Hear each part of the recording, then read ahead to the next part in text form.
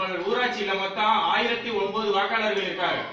இந்த ஆயிரத்தி ஒன்பது வாக்காளர்கள்ல ஊராட்சி சட்டம் ஒரு சட்டம் இருக்கு. தமிழ்நாடு ஊராட்சி சட்டம் ஒரு சட்டம். அந்த சட்டப்படி ஐநூறு வாக்காளர்களுக்கு மேல இருக்கிற ஊருக்கு நூறு வாக்காளர்கள் சட்டம் இயற்றி அவர்கள் சம்மதம் இருந்தால்தான் ஒரு சட்டத்தை இயற்ற முடியும். ஐநூறுக்கு கீழே இருந்தா ஐம்பது பேர் தேவை. அப்ப அந்த நூறு பேர்ல முப்பத்தி மூணு பேர் முப்பத்தி மூணு சதவீதம் பெண்கள் இருக்கணும். முப்பத்தி மூணு சதவீத பெண்கள் இருந்தால் மட்டுமே அந்த சட்டம் செல்லுபடி ஆகும். இல்லை என்றால் செல்லுபடி ஆகாது. அடுத்தது இரண்டாவது நிர்வாகத்துறை நாம் சட்டம் இயற்றுவது அதோட முடிந்தது நம்மளோட வேலை.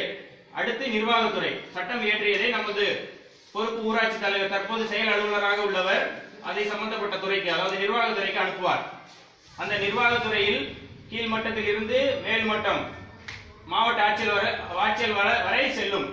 அந்த மாவட்ட ஆட்சித்தலைவர் நாம் எடுத்திருக்கும் சட்டத்தில் ஏதாவது மத்திய மாநில அரசுகள் இதுக்கு முன்பு உள்ள சட்டத்தில் ஏதாவது தவறு இருந்திருந்தால் அந்த சட்டத்தை ஒப்புதல் அளிக்க மாட்டார். தவறு இல்லாத பட்சத்தில் நாம் இயற்றக்கூடிய அனைத்து சட்டங்களும் புதிதாக நம் ஊராட்சிக்கான சட்டங்கள் ஆகும் ஆகவே நாம் அனைவரும் நமக்கு தேவையான சட்டங்களை உருவாக்கி அதன் மூலம் நிர்வாகத்துறைக்கு அனுப்ப உள்ளோம். சப்போஸ் நிர்வாகத்துறை நம்மளுக்கு நம்ம தீர்மானம் நிறைவேற்றுறதை நிறைவேற்றி தரல அப்படின்னா மக்கள் யாரும் கவலைப்பட தேவையில்லை. மூணாவது நீதித்துறை இருக்கு நம்மளுக்கு. நம்ம கரெக்டா சட்டம் ஏற்றுனோம்னா நம்ம டைரக்டா ஹைகோர்ட் இருக்கு நம்மளுக்கு. நம்மளுக்கு ஹைகோர்ட் டிவிஷன் பாத்தீங்கன்னா நம்மளுக்கு மதுரை பெஞ்ச் வரும். நம்ம நீதிமன்றத்தை நாடுவோம். நம்மளுக்கு கண்டிப்பா நீதி கிடைக்கும். நம்ம யானை நம்ம ஏத்திருக்க சட்டம் கரெக்ட் இதான் சட்டமன்றத்தில் உள்ளவங்க செய்யறாங்க அவர்கள் பணபலம் உள்ளவர்கள். அவர்கள் கொஞ்சம் கல்வி அறிவும் நல்ல நல்ல நிலையில் உள்ளவர்கள். அவர்கள் நேரடியாக நீதிமன்றத்தை நாடுகிறார்கள். நம்ம நாம் இதுவரை நீதிமன்ற நீதிமன்றத்தை நாடியதே கிடையவே கிடையாது.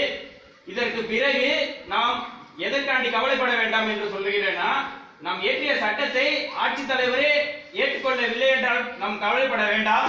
நாம் நீதிமன்றத்தை நாடுவோம். கண்டிப்பாக நமது உரிமையை பெறுவோம் என்று நம்பிக்கையோடு மக்களிடம் அனைவரும் இதை பகிர்ந்து கொள்வதற்கு மிக்க நன்றி தெரிவித்துக் கொள்கிறேன். அடுத்து ஏதாச்சும் வந்து பொறுப்பாளர்கள் பேசணும். தலைமை ஆசிரியை கல்வி நிர்வாகம் பற்றி இல்லை இல்லை. இல்லை இல்லை. இந்த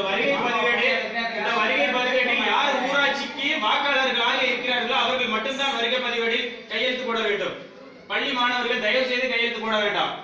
சப்போஸ் நம்ம சட்டம் ஏற்றிடுவோம். இதுக்கு போன வாட்டியே நாங்கள் சட்டம் ஏற்றிட்டோம் அதுல அறுபது பேர் தான் வந்தாங்க. கடைசியா ஃபைனலா சட்டம் ஏத்தி அறுபது பேர் சைன் பண்ணிட்டாங்க. நம்ம அதுக்கு மேல எதுவுமே பண்ண முடியாதுல நம்மளுக்கு மேல உள்ளவங்களும் செஞ்சு தரல.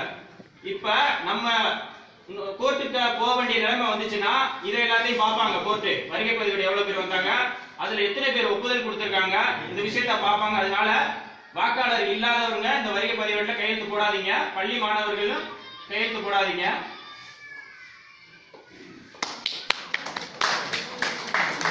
தலைமை ஆசிரியை அவங்கள கூப்பிட்டு நம்ம கல்வி அப்படியா? பேச சொல்லிடுங்களா வேற?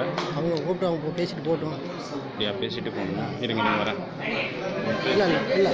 அவங்க தம்பி டீச்சரு அவங்க அந்த நூறு நாள் வேலை பணியாளர் அவங்களாம் என்ன திட்டம் பண்ணுறாங்கன்னு சொல்லுங்க. மைக் எடுத்துக்க. மைக் எடுத்துக்க.